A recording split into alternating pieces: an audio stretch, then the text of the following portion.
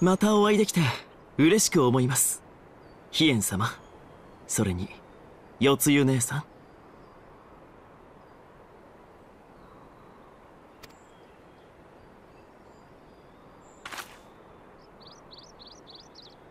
出迎えが遅くなってすまない。大使殿も壮健なようで何よりだ。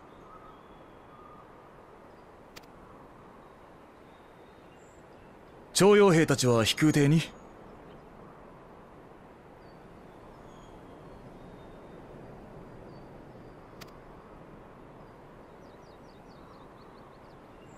もちろんです。土間川の準備も順調なようですね。今日彼女を連れてきたのもその一環とお見受けしますが。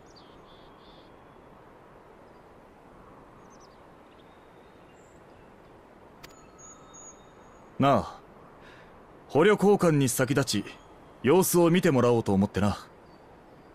すこぶる健康だが記憶の方は相変わらずよ。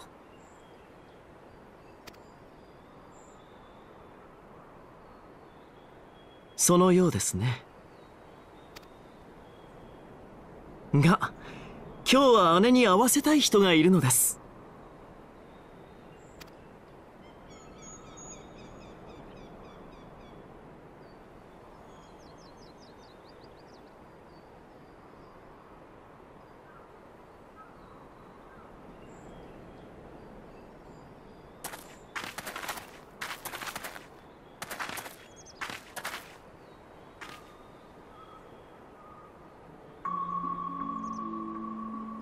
よ、やつゆ。元気そうじゃないか。安心したよ。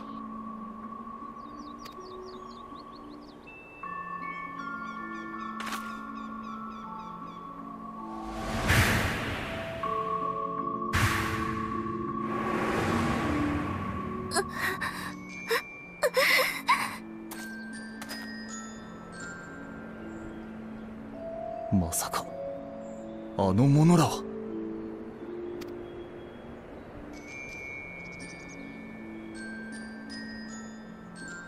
どうしたんです姉さん？私たち兄弟の大切な両親ですよ。よくよくしつけてもらったこと。忘れてしまったんですか？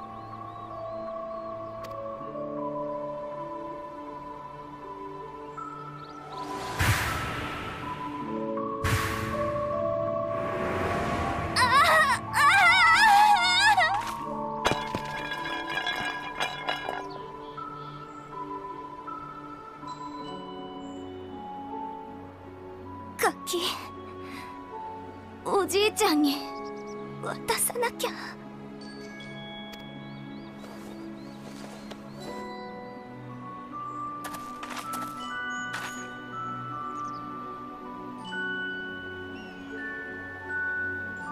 うん。最後のあがきだったんですが過去を思い出してはくれなかったみたいですね。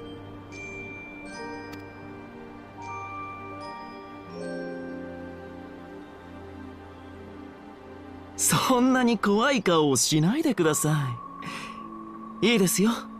そちらの女性はドマ人であると認めましょう。どうか姉のことよろしくお願いしますね。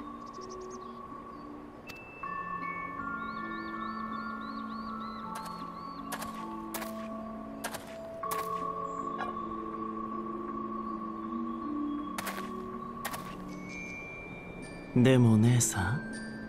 私は戻ってきてくれると信じていますよ。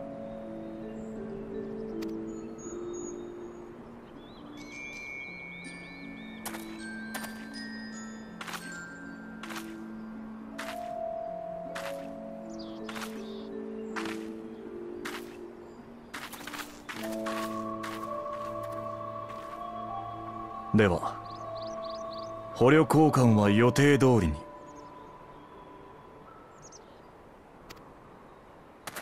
ええ川向こうの施設がまだ使えるようですからそこに土間出身の徴用兵たちを降ろします。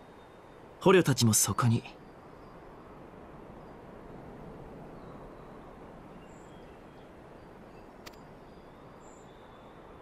はい分かった。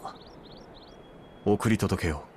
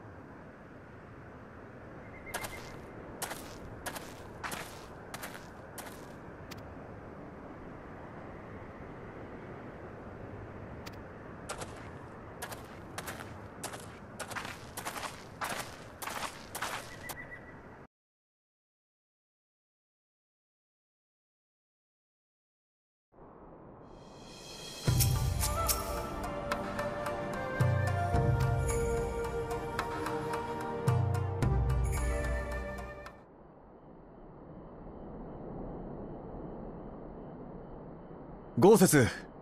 入るぞ。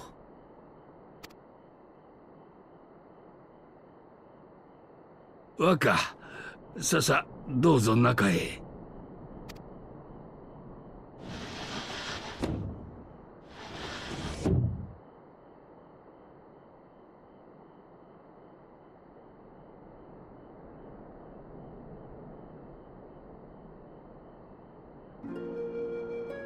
き晴らした様子でつゆが帰ってきましてな。拙者に柿を一つ剥いてくれたのでござるがその間何一つ話そうとはしませなんだ。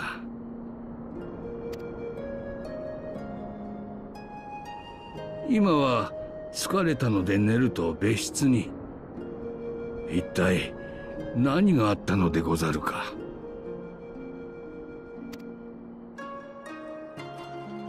夜露の記憶を蘇らせようと大使殿が策を浪したのだ。連れてきた両親と引き合わせてな。頭を抱えて苦しんでおった。結局それでも過去を思い出しはしなかったようだが。夜露って養父母から冷たい仕打ちを受けていたんでしょ心の傷をえぐるようなことをして朝日の本性を見たりといったところね。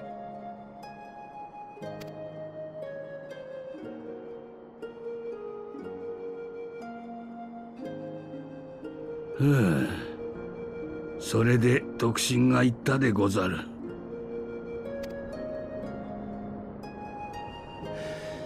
ともあれ夜露を土間の民として扱うことには同意した。あとは予定通りに捕虜を交換し徴用兵らを取り戻すことができれば一安心よ。ところでその捕虜交換ですが一つ気になることがあります。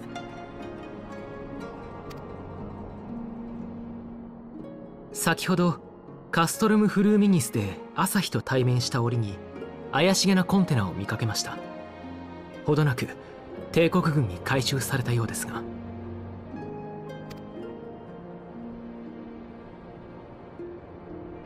確かにいくつかのコンテナがあったわね。爆弾やら魔導兵器やらが隠してあるとでも言いたいの？うん。わしの命を狙っておるならこれまでいくらでも機会はあったはず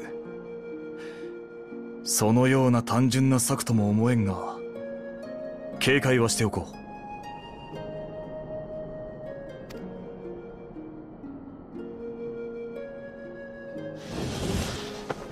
失礼いたします。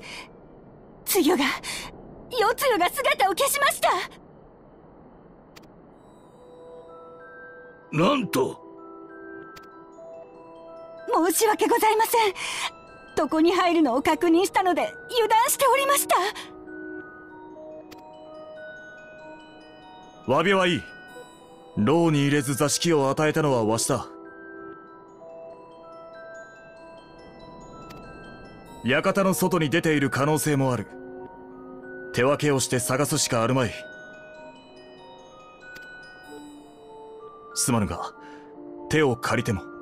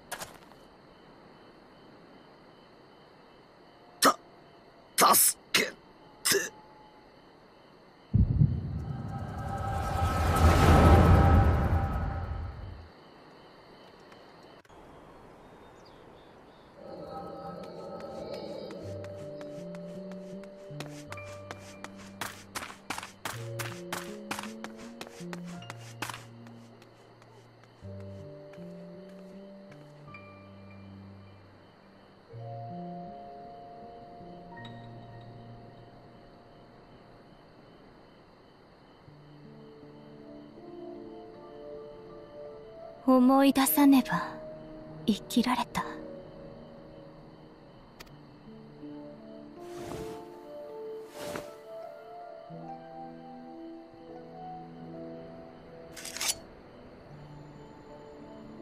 恨まれるだけでも生きられた。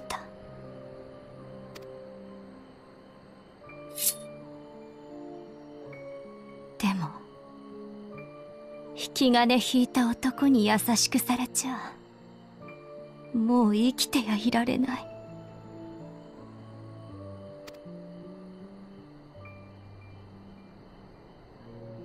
だ誰だ？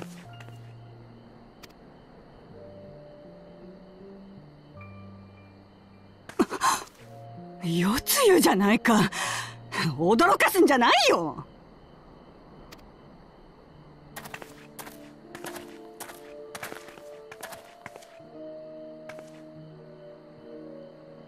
ここは町人地か？いきなり軍に連行されて土まで生きろと放り出されたんだがまさかお前に会うとは。まったくあんたは本当に疫病神だよ。今今知ったらありゃしない。せっかくのお役目を果たせなかったばかりかあんたがおめおめと生き恥をさらしてくれたおかげで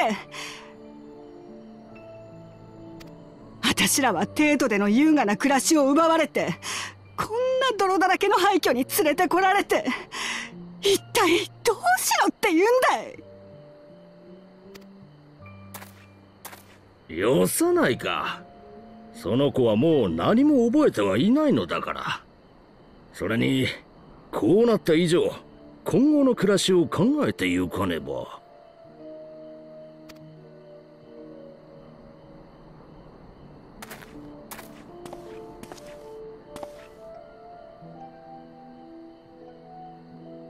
うん。それにしても器量の良さだけは相変わらずだな。今でも議論に売れば幾ばくかの金にはなるだろう。それを元手に久金にでも渡って商売を始めれば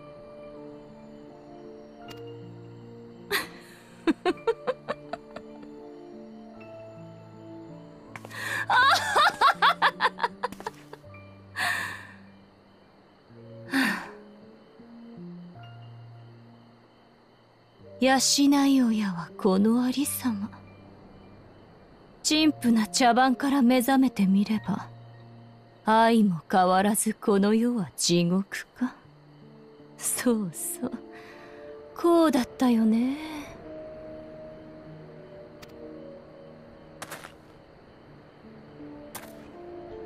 いいよ。こんな私に世がまだ悪と酒という。なら幕引きまで期待に応えてやろうじゃないか。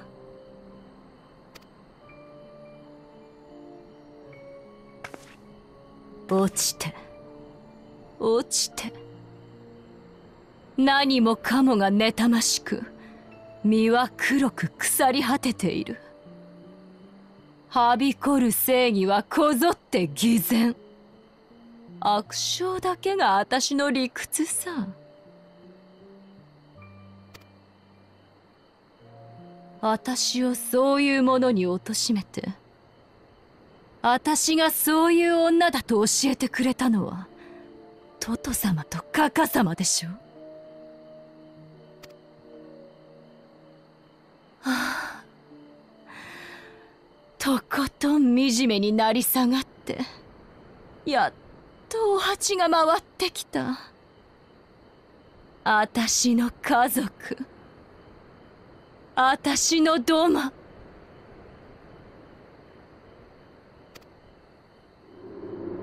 私の。仇敵。よ四つ。な何を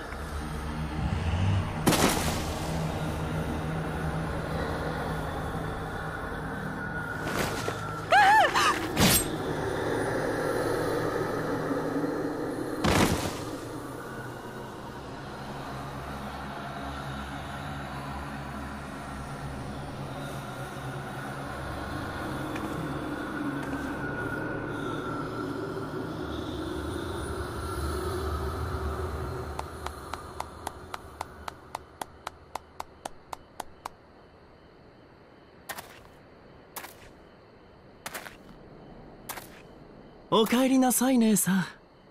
戻ってきてくれると信じていましたよ。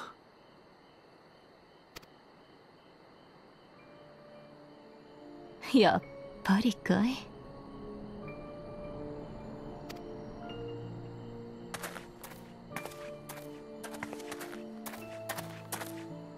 どうせお前さんの差し金だろうとは思っていたよ。血のつながった親を使うなんて。相変わらずのゲスっぷりだね。育ての親を刺しておいてよく言いますね。でも人差しで引導を渡すなんて非力な姉さんにしては上出来だと思いますよ。ただそれじゃあ倒せるのは哀れな年寄りだけだ。どうです？もっと。力が欲しいと思いませんか？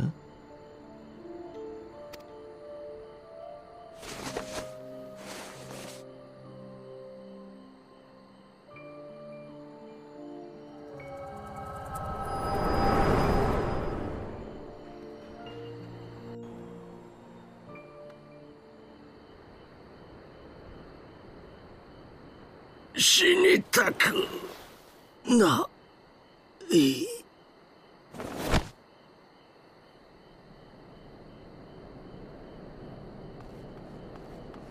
どうした？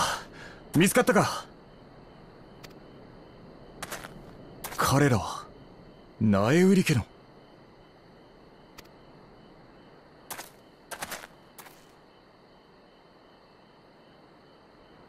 記憶を取り戻した世つゆが両親を殺害。朝日と共に去ったと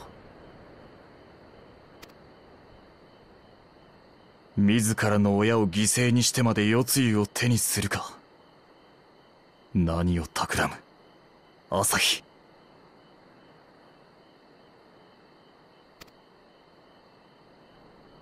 何にせよここでわしらが憶測するようなものではないか。一度館に戻ろう。皆を集めて状況を整理しなければな。